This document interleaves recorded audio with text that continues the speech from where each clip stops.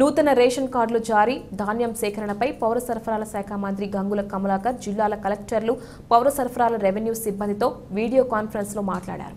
నూతన రేషన్ కార్డుల జారీ ధాన్యం సేకరణ అంశాలపై మంత్రి గంగుల కమలాకర్ కరీంనగర్ కలెక్టరేట్ నుండి అన్ని జిల్లాల కలెక్టర్లు అదనపు కలెక్టర్లు రెవెన్యూ అధికారులు డిఎస్ఓలతో వీడియో కాన్ఫరెన్స్ నిర్వహించారు. పౌర సరఫరాల కార్యాలయం నుండి కమిషనర్ అనిల్ కుమార్ ఇతర ఉన్నతాధికారులు పాల్గొన్నారు. ఈ సమావేశంలో మంత్రి గంగుల కమలాకర్ మాట్లాడుతూ రేషన్ కార్డుల జారీపై కేబినెట్ సబ్ కమిటీ సూచించిన విధంగా పెండింగ్లో ఉన్న అప్లికేషన్లను వెంటనే స్పష్టమైన నివేదికను వారం రోజుల్లో తయారు చేయాలని అధికారులను ఆదేశించారు. గంగుల కమలాకర్ ఇప్పటికే ఎన్ఐసి ఐటీ డిపార్ట్మెంట్ వెరిఫికేషన్లలో మిగిలిన నాలుగు లక్షల పదిహేను వేల తొమ్మిది వందల ఒక్క కార్డులకు సంబంధించి పదకొండు లక్షల అరవై ఏడు వేల ఎనిమిది వందల ఇరవై ఏడు మంది లబ్ధిదారుల వివరాలను గ్రౌండ్ లెవెల్ తనిఖీలు నిర్వహించాల్సిందిగా ఆదేశించారు. ఈ కార్యక్రమంలో జిల్లా నుండి జిల్లా కలెక్టర్ కృష్ణ భాస్కర్ సంబంధిత అధికారులు పాల్గొన్నారు.